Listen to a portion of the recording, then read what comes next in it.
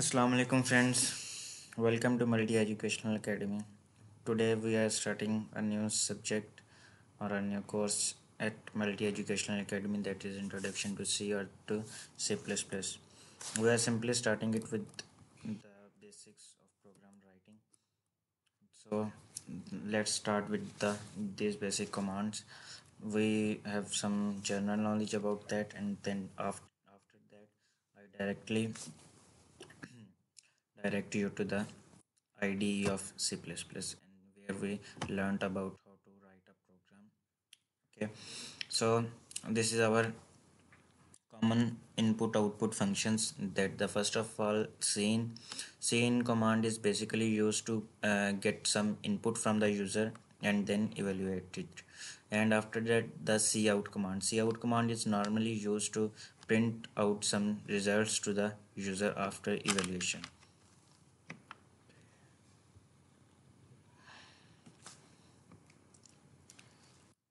next there are something that we have to learn comment. And if you want to add, uh, add some comments into your program you can add them by simply starting the commented line with the double slash. Okay further we have a practical example of it. Then we can learn more about it. after that the preprocessor directives. Preprocessor directives are the library programs that are built in built in in c++ these preprocessor directives are started with hash include and then we write the name of that specific preprocessor directive that preprocessor directive have the specific instruction of the program that you are writing so so, चलें शुरू करते हैं आगे देखते हैं हमारे पास अब हमारे पास ये एक सिंपल प्रोग्राम है इसमें हम यहाँ पे देख सकते हैं कि हमारे पास ये फ़र्स्ट लाइन में डबल स्लैश के बाद ये एक सेंटेंस लिखा हुआ है। इसका मतलब ये है कि हमारे पास ये एक कमेंटेड लाइन है। ये जब हम इस प्रोग्राम को रन करेंगे तो क्या होगा कि ये वाली लाइंस जो हैं these lines these commented lines are not represented to the user only the developer और the writer of that the program can see these commands so these are the simple commented lines there is these are the simple comments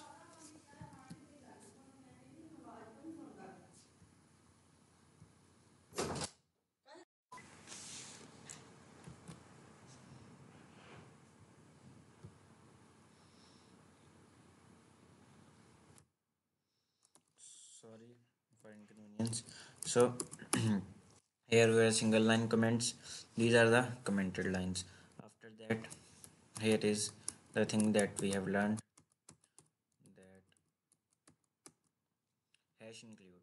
These are the library files or the header files. These files has the specific built-in instructions for the uh, uh, program that you are writing about. Any command you are writing make sure that the, the specific header file is written here. As the cout command is here used being used and its header file is uh, written here iostream so there are many other header files that are used in c++ iostream is the basically used in most of the functions basic functions as we are have learned function many functions here today in which we mostly use iostream header file. After that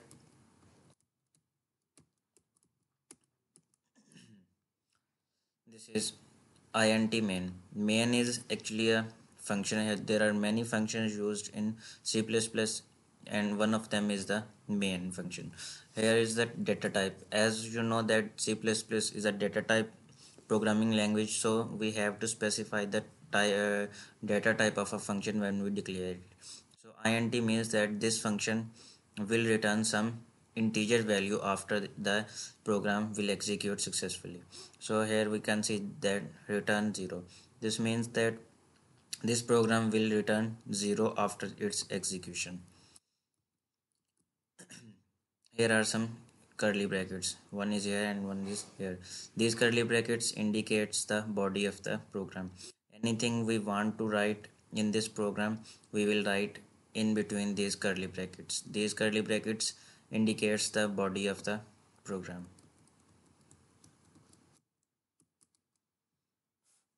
So here are standard output stream object. Std std is the command used to represent that standard function that cout is a standard function. Std is written uh, whenever we use the cout command.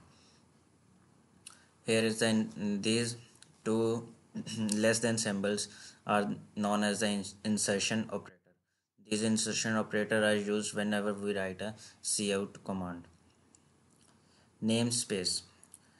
So if if we want to use the cout command many times in a program we only write it the it that it is a uh, that we are using a standard function in our program and we write at the top of the uh, at the, in the starting of our program that using namespace std by writing this we can use cout command as many time as we can in the program without writing std again and again we can see this in practical examples so don't be confused.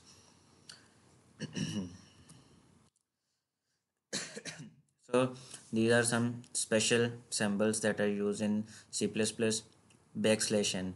This symbol is used to enter a new line in our program.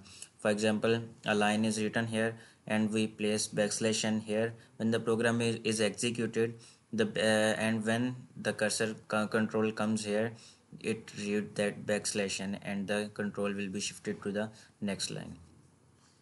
Backslash t. This command is used to insert a tab horizontal tab in the program. If we want to customize our program we can add it.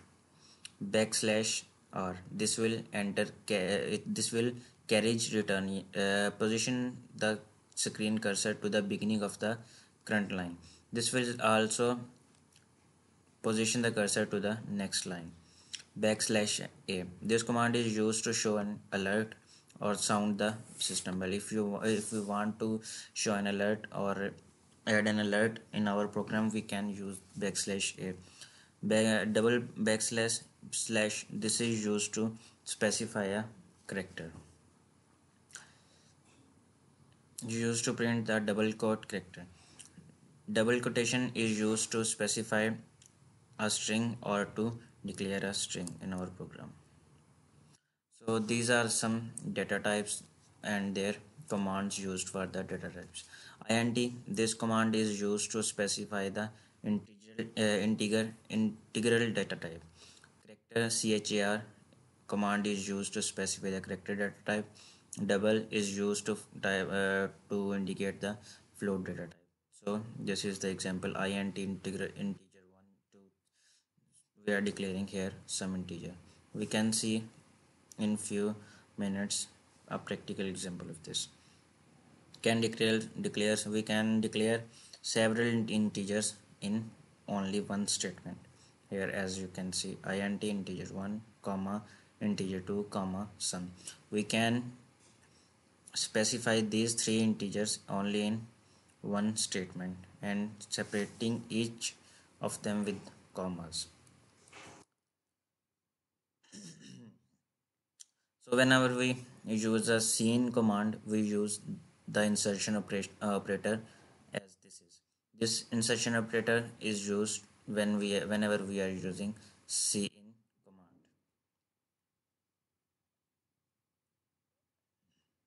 Equal sign is used to assign a value to a variable. As you can see sum is equal to variable 1 plus variable 2 since we have declared two variable here in this example and here we are assigning the value to sum by putting a equal sign here and then writing our statement.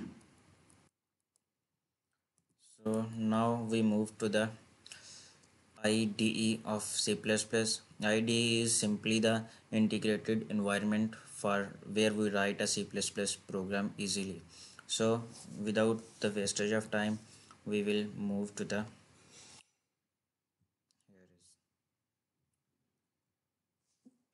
so this is the simply IDE of a C++ program. We can write our C++ program in this environment very easily. So this is I am using code blocks. You can use whatever you want after mm, uh, accept it. There are also many mm, uh, other that is dev c uh, c++ dev c etc. But the code block is the best. Where you can download it easily from the google. So let's start. When you uh, download it you will and after installation you will uh, see the screen like this. You simply click on create a new project. Here select the type of the project. Console application. Go. Specify which in which language you want to write your program C or C++ C++ definitely. So next here you will write your the name of your project. We can write my first project okay then next then finish. After that here is this is the predefined written program that we are about to write and so you can see here that hash include that is the header file. It indicate here the hash include iostream. Okay after that we use here using namespace std as we have uh, studied a few minutes ago that by writing this command you can use cout command again and again in a function without any hesitation or without writing std again and again. Okay? After after that we start our function that is int main. We write this the type of the function and then the function.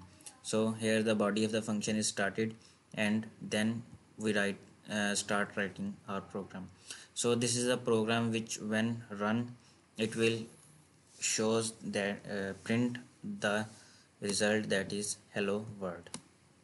So here is one thing important that is if you want to print out something as it is there uh, you write it.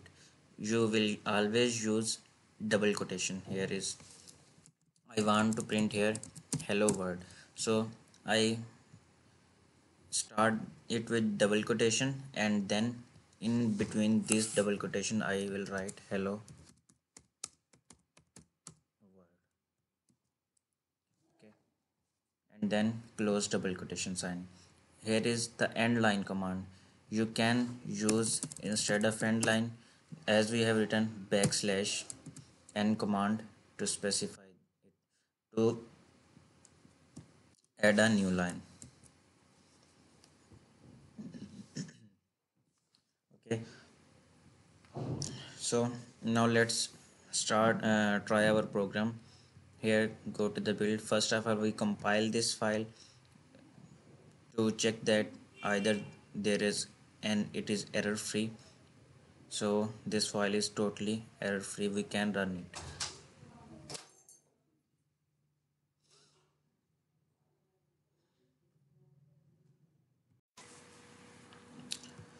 so we can run it easily as go to the build build and run. And boom we have executed our first program that is print out print the user that hello world command okay? And this after execution this will process return zero. This means that our program has successfully been executed okay the function of this main uh, is only to show us that our to returns uh, us a value that shows that our function has successfully been ended. Okay? Now we will simply press any key to continue. Okay? Hope that you will learn a lot from our this first function. So keep in mind one thing that whenever you end a command you can uh, you have to put a semicolon which indicates that the command has been ended.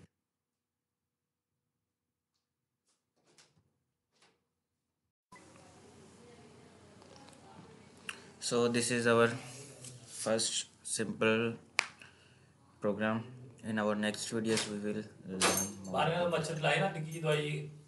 हाँ जी। So for today अल्लाह हाफिज state